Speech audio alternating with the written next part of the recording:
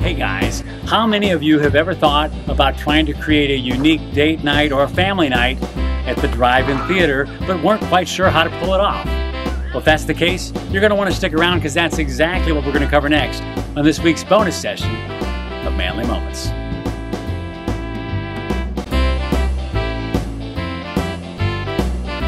Well, I'm here today with my daughter Sadie at the Auburn Garrett Drive-In on State Road 8 in Garrett, Indiana. This place opened on May 16, 1951, during the early years of the drive-in theater boom, and has been showing movies every summer ever since. But if I'm honest, I've only been to the drive-in theater like once in my lifetime, and so I had to learn things the hard way. And I thought it might be beneficial to share with you some of the things I've learned so you can learn from my mistakes. That's why I put together this video with the top 10 tips for a successful night at the drive-in. Take notes, because here we go. Number one, arrive early. If you want to get a good spot, you can't show up five minutes before the show starts and expect to get a good spot. Serious drive-in fans arrive one to two hours prior, especially on summer weekends. Gee, think we came early enough? I want to beat the crowd. It's three in the afternoon. At least we got a good spot. Number two, bring games. If you arrive early, football, a frisbee, or a deck of cards goes a long way and can be a tremendous asset, especially if you bring the kids.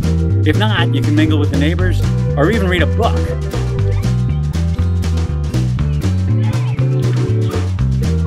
I wonder if it's going to be better than the book. Probably not.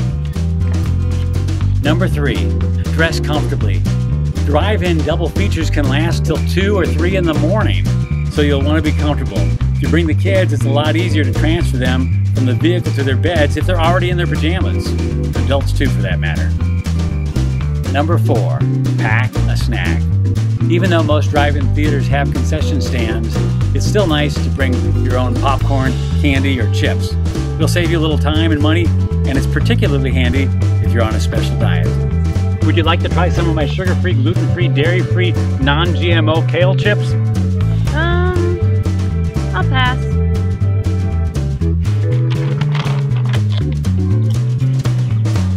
Number five, bring lawn chairs. Sometimes the best way to ensure you have a good view is simply to bring a lawn chair and sit outside. Or if you drive a van or a truck, you can park backwards and go for the open view with blankets, pillows, mattresses, or even a love seat.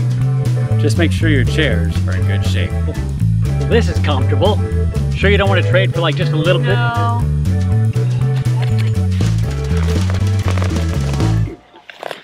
Number six, bring a jacket or a blanket.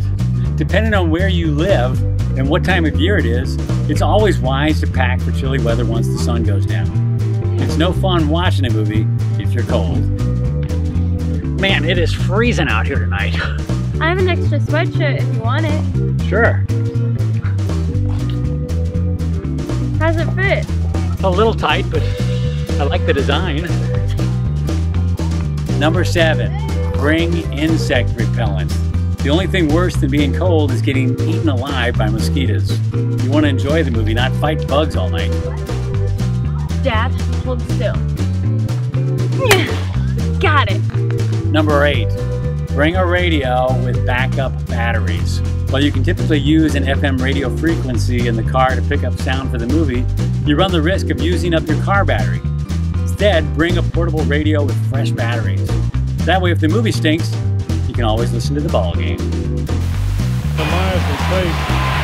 Hey, turn that radio off. Take it away from him. Under four left. The barn is alive again. 52 Number nine, bring jumper cables. Even if you use a portable radio, sometimes the constant use of the interior lights can wear down the car battery. Trust me, it's no fun being the last one in the lot at 2 a.m. trying to figure out what to do. I knew I should have brought the jumper cables. Think mom's still awake? No. Number 10, consider going in the spring or in August. The sun sets earlier in May and August than it does during the heart of the summer, which means the movie will start sooner so you can actually stay awake for both shows. In Indiana, it doesn't even begin to get dark until 9:30 or 10 in June. I don't know what they do in Alaska this time of year. So there you have it, the top 10 tips for a successful night at the drive-in. we've got one more thing to cover. Come on. We still have to pick a winner from last week's contest. Everybody who reposted or shared that video got their name in the lucky Man Camp mug, and now it's time to pick a winner. Sadie, I'll let you do the honors. Drum roll, please. And that lucky winner is, oh boy, Mary Wybrew. Congratulations, Mary. You just won yourself a free detail job from Jay Chapman, the owner of Faithfully Fitted Automobile Detail. For the rest of you, don't despair. It seems like we're always giving away free stuff on Manly Moments, but you gotta stay tuned. So the best way to do that is to click the subscribe button and the notification bell so you don't miss a single episode. And we will see you next time for another installment of Manly Moments.